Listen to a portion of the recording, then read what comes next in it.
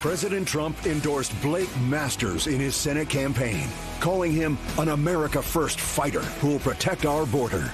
Blake Masters will stand with Trump and stop the border invasion. I'm Blake Masters and approve this message. You never